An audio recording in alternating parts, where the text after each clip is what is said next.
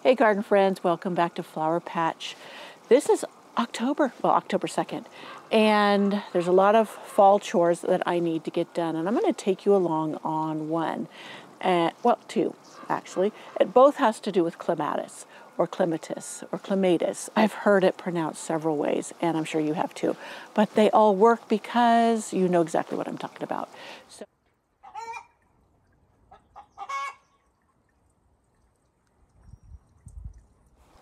I'm going to share with you how I transplant a clematis that is not doing well in the area that it's at. And then I'm going to share with you how I trim one back and then put up a trellis so that I can make sure I can enjoy the blooms next year. Because this last year, um, they bloomed on the other side of my fence and I would have to walk around down into the back alley in order to enjoy them. And I really wanted them on this side. So we're going to do those two chores. I'm going to show you one that is a total mystery as to what is wrong with it. Um, but sometimes that just happens. And I just wanted to share that with you in case you have one that's failed you too. Okay, now I'm going to get going with my chores. So I know it's rather obscured down here, so I'm going to get down here and I'm going to show you. Now this particular clematis, whoops, almost fell over there. This particular clematis is called bourbon. And there's so much blooming here. I'm having a hard time stepping in here.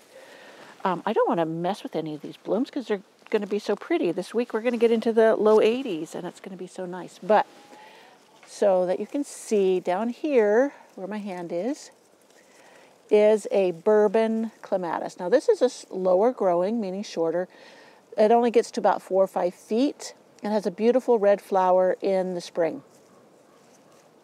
And um, I put it here hoping to have it climb this obelisk, but it must be too crowded or something. It just doesn't like it here. I formerly had it on the front obelisk with the Eden rose, um, and as we were training things there or changing things around, I moved it back here. Um, now I have to dig it up and move it again. So I'm going to do it as carefully as I can, not to disturb what is blooming now, so that I can continue to enjoy the, the other blooms through October. And if I have to sacrifice a couple, that's that's how it goes. But that's the one I'm going to focus on to transplant. So now I'm going to get my shovel, my gloves, and some clippers to clip back some foliage so I can see, have a good shot of how to dig it up. So the first thing I'm going to do is I'm going to cut back the crocosmia leaves, which are these strappy leaves. I love my crocosmias. Um, and they've had plenty of time to absorb nutrients for the next year, so it's not going to be a big deal. Now this black-eyed Susan looks like it might be in the way. I'll see, I'll bend it forward a little bit and then I can tie it back up. I really didn't want to cut that back right now. That's a columbine and that can go because it's just a free seeder and I don't need it there. All right, I'm getting back here too. Uh, now it's funny, it, not funny, but this is putting on new growth here, and it was hidden by all that.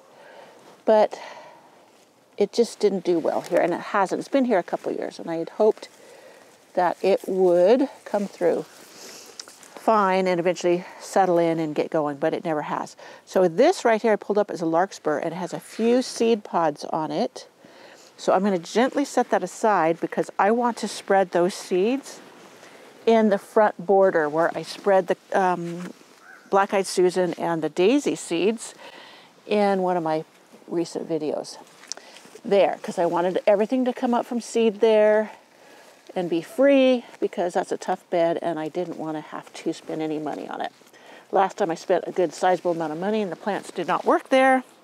I had to replant them somewhere else all that. So anyways, until I decide what I want to do up there, I want to just seed stuff that I know grows for me. Okay, basically, I have all of everything pulled away. I'm trying to pull some weeds gently away, find where the actual root mass is, and it looks like it's back here.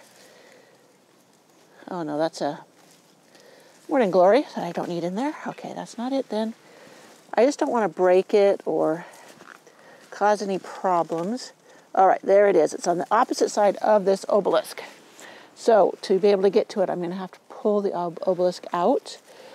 And I will pull out this part. I need to go look up what pruning type bourbon is. If it's a type 1, I don't want to cut back anything because then it won't um, get any blooms next year. So I have a sweet pea climbing on this. It's blooming right now. And I want to get the seeds from it. So anyways, hopefully you can see what I'm doing a little bit. I'm so focused on what I'm doing, I'm not looking in the camera to see if it's showing through. Okay, whoops. Okay, there is the clematis. There's another piece in here. Okay, so there was two vines coming off of it.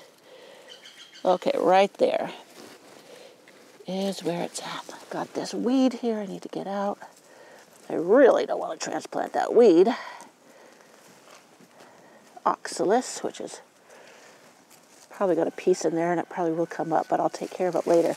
Okay, so I kind of, kind of, I have all around the roots cleared out. So I will get my shovel and get in here and I'll try to dig down as deep as I can because clematis can have very deep tap roots. So I'm going to interject here that this may not work. I may lose this clematis because of trying this move. Now I have moved them before, been very successful, but there is a risk. There's a risk that I will kill it. Now being this is early October, the ground is still warm, there's a good chance that this will just put down new roots and take off and be fine. But I just wanted to let you know that there is a caveat that you could lose your clematis entirely if you decide to try to move them. Okay, so I have everything cleared away for the most part in this area. And now I'm going to get as far back from, not as far back, well, get it get back a few inches. Looks like, feels like there's some really hard in there and I'm going to dig down. Well, it's not, shovel's not going in there. There's something very solid in the ground here that is blocking my way. So this is going to be even riskier than I anticipated as far as being able to get this up. And being there's so many plants in here, it's going to be tough to get way down to the taproot. So, okay.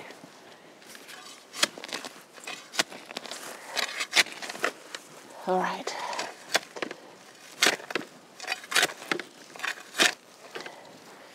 So here is the roots. So I see some that it broke off and whatever.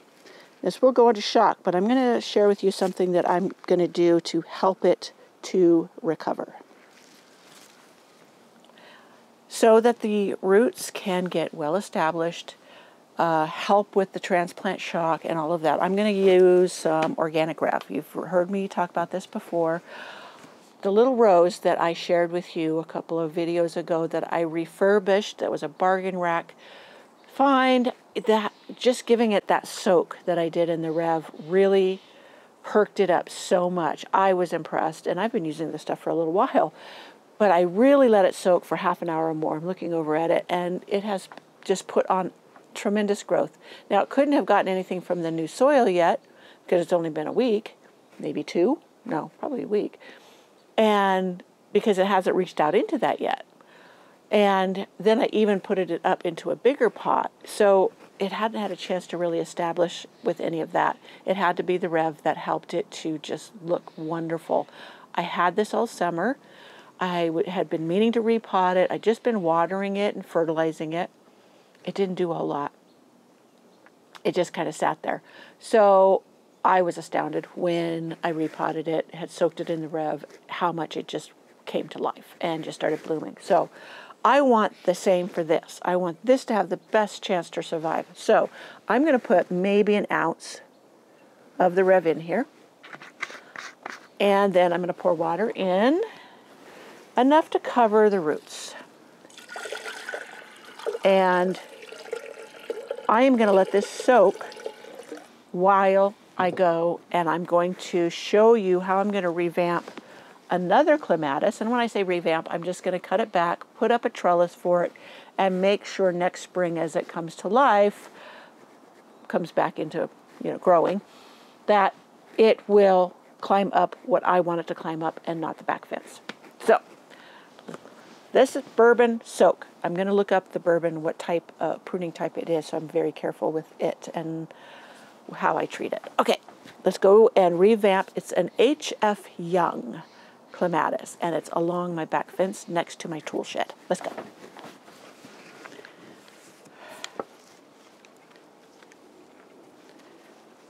So right here is my HF Young clematis. And it's even putting on new growth now. This thing bloomed all summer long, but the blooms showed over there. And though I can enjoy it from there, I have roses and stuff back there. I wanted it to bloom, climb up this and climb up over. And I'll probably put some screws or something to put some mesh up there so it can cling to it. And I'm going to use this along the side. So I'm going to cut it to fit. I'm to cut it to here because then I can hang it up here and then have make sure all spring when it's growing I can train it along here and then it will go on up.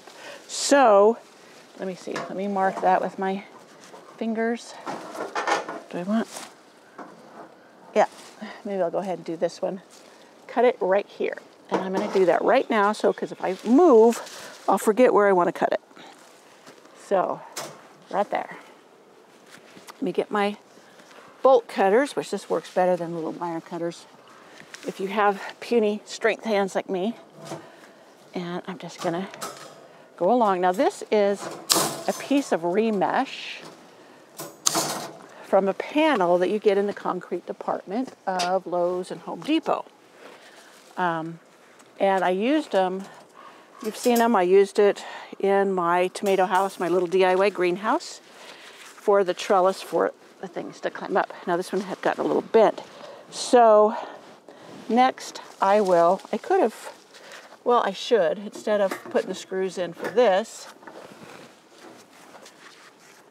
which I could do. Let me measure really quick. I get ahead of myself. Okay, I can, anywhere along there, put the two screws that this will hang on, and that will be sufficient. But I need to cut it back. Now, I'm not going to get any more blooms this season, being it's October.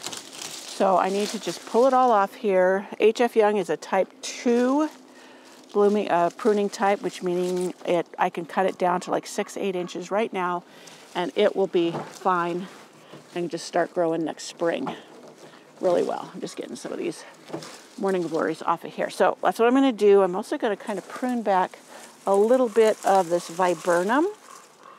Not too much because um, I want that evergreen structure there.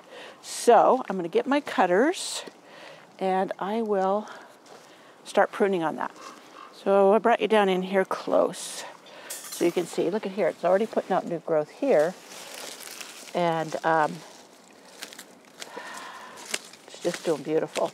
But as I said, I'm not going to get any more blooms this fall. So time to give it a prune. A lot of times you won't wouldn't prune this till spring or uh, late winter, but this works fine for me too. Um, plus, at that time of year, we have so much snow many times that I couldn't get to it anyways. So I've done this for years. A lot of people would dispute with this, but that's okay. I do what works for me, and sometimes I do have to break the rules. So I would say I'm cutting it probably eight inches from the ground, the roots, the roots are. And I'm just going in there and cutting all of it. This one has, it's been here a few years, so it has a really good root system. Lots of nice canes coming off of it. I have others that are going over that that direction, and I want to pull those out because I want the growth to come up here.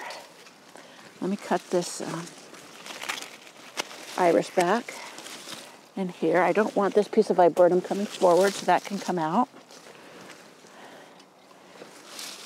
And this can come out. While I'm in here, I'm just going to pull out anything I don't want in here. This strawberry, I don't want in here. And of course the weeds, the oxalis. All right, so see what I'm pulling where. So this can come off of here. Anything up above can come out. Yeah, this put out tons of canes this year. That means it was happy here. Gophers obviously left it alone, which I'm thrilled for.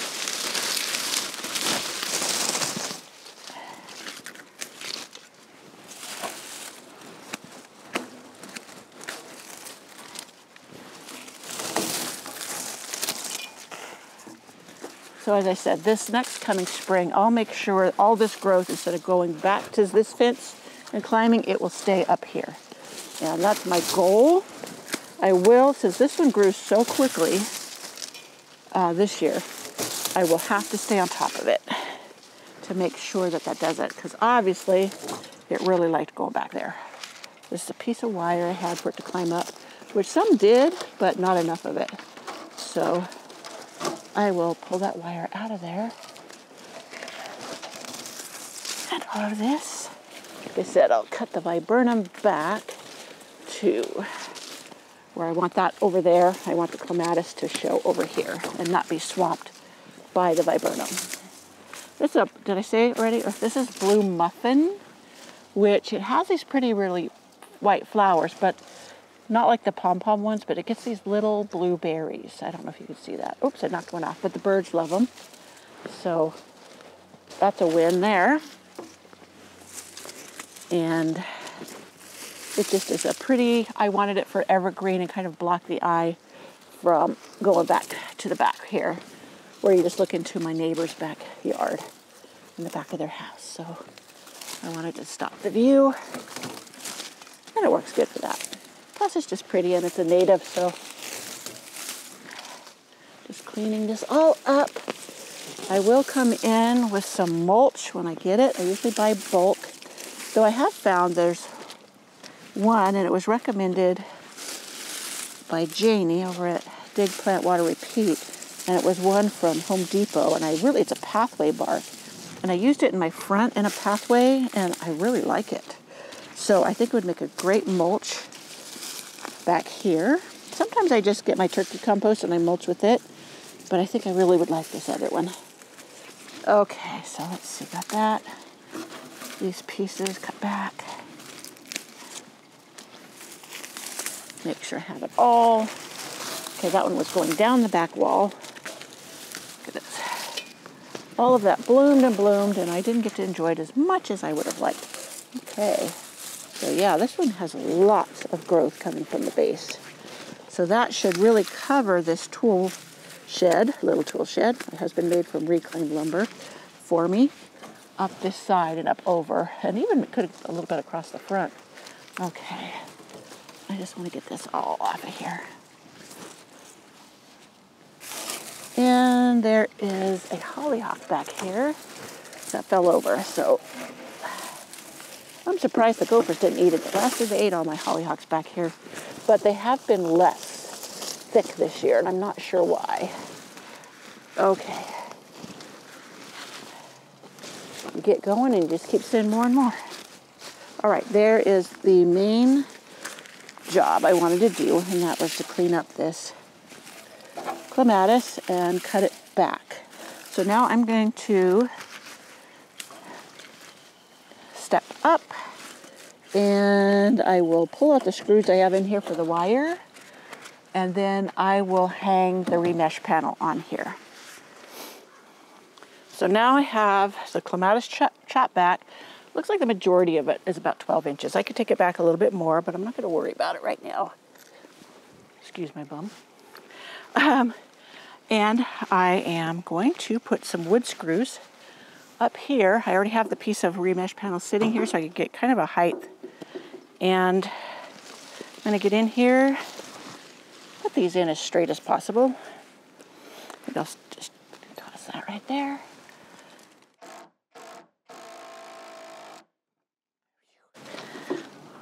That's noisy.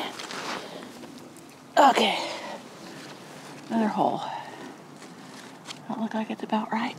I'm not too worried about this being perfectly straight. Just enough to hang this thing on.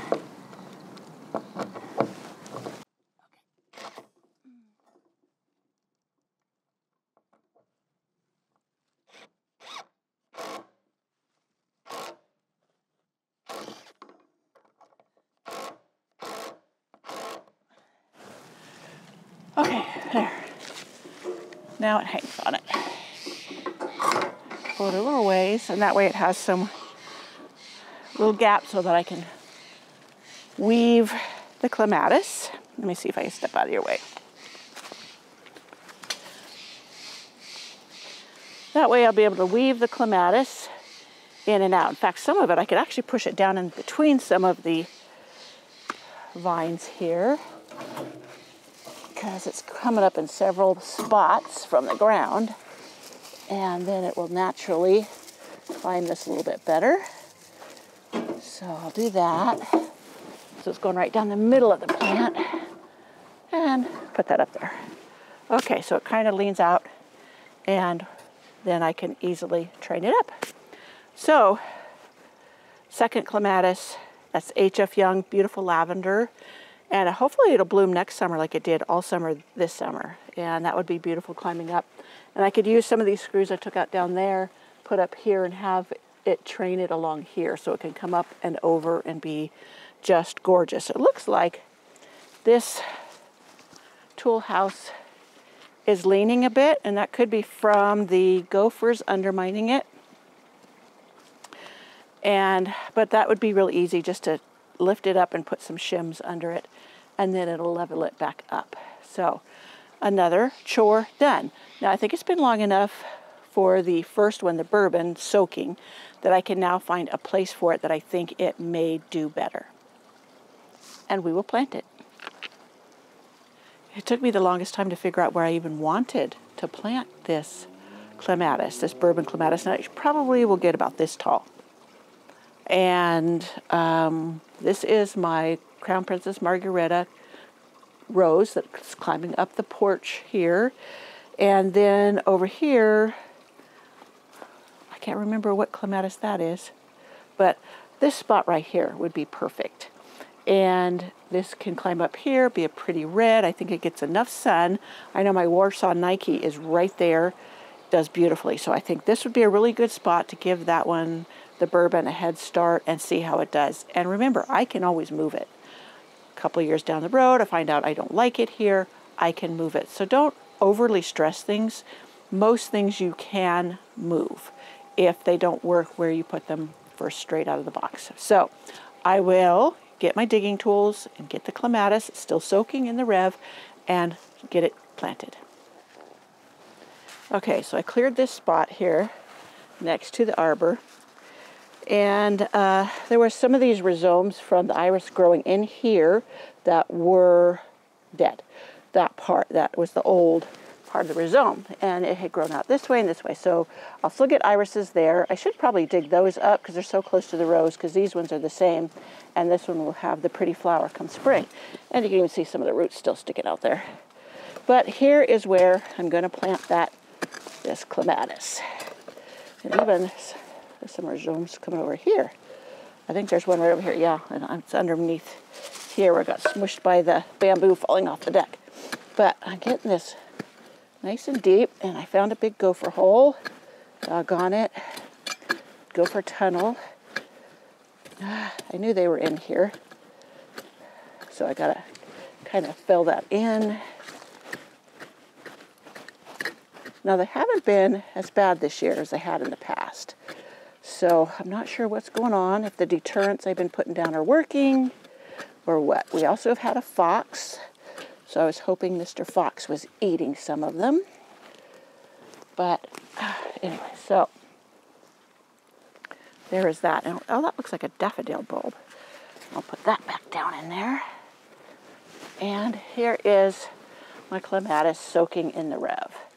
And there's the beautiful roots, which I will put down there and I put them a little bit, even the base of the vine underneath there. That case, if it gets that particular wilt that is normal, not normal, average, or can, some clematis are susceptible to it. When you cut it to the ground, it will regrow from the roots if you have some of the vine underneath the soil too, so it doesn't kill even the roots. So I'm going to go ahead and train this up here for now and let it go. This is, I learned, a type 2 pruning type clematis. So that means come spring, I will prune it back to, you know, six or seven inches. I probably will leave it a little taller, like more like 12 inches, so it's already trained up here and I don't have to keep track of it too much to help it. And I'm just gonna pull this rhizome here out because I don't need that one. And I can see it there and I want it pulled up. Ooh, look at this. This is, that is a night crawler. So it needs to get, go back under there, Mr. Nightcrawler. At one time I had a rabbit cage that was underneath the deck here. And of course all that rabbit manure went down there and everything loved it. So I'm gonna go ahead and water it a little bit in with the organic rev so it can get a good start. Make sure the roots are gonna stay covered there and let it be. And I'm gonna put this rest over here on this rose. Okay, that is another chore down that I've been wanting to get done. Now I will come back with um, the mulch when I get it and mulch this really well and that'll help it also. So forgive all the background noise. I've got a lot going on around here today. But here is the clematis that I was telling you about that has just all of a sudden failed. It was growing beautifully. It was climbing up through the fence. It looked as gorgeous as this one as far as the leaves. It hadn't bloomed yet, but and this one has bloomed so beautifully. Now the funny story behind this one is last year I thought I had lost it and that's why I planted this one here and they are only planted a few inches apart at the base. So there's no, you know, nothing like a gopher or anything ate them. Let me look down in here, see if you can see down at the base. Let me go over here. Can you see the bamboo post? That's where they are planted. And yeah, well, let's see, they're about six inches apart down there. And it's just a complete mystery why one would thrive and the other would suddenly, after growing beautifully, start drying up. So if you have one that fails, just know that it happens. But also this one, um, it could come back next year. It could recover next spring just fine. Last spring or last fall, this one I thought I had lost it. So it goes to show you just don't know, especially when they come up from the roots. So I will um, go ahead and prune this one back this late later on in this fall, and then just hope for the best next spring. So that, my friends, is it for today. The one garden chore that was on the top of my list, and that was transplanting the bourbon clematis, and then chopping back the HF Young clematis and putting up a support for it in the direction I want it to grow next season. So I hope you enjoyed this video. Give it a thumbs up if you did and or share with your friends and we will be back and we'll be transplanting some more things because this time of year, fall, is perfect and the weather's going to be perfect. So I've got a lot of things I need to get moved and or cleaned up and I'll take you along for the ride. All right, I'll see you in the next video. Bye.